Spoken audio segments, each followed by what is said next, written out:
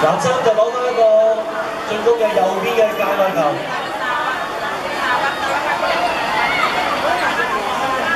咁啊，橙衫嘅杰士呢队咧，旧年系攞过亚军嘅，唔知系咪因为咁样咧，佢哋个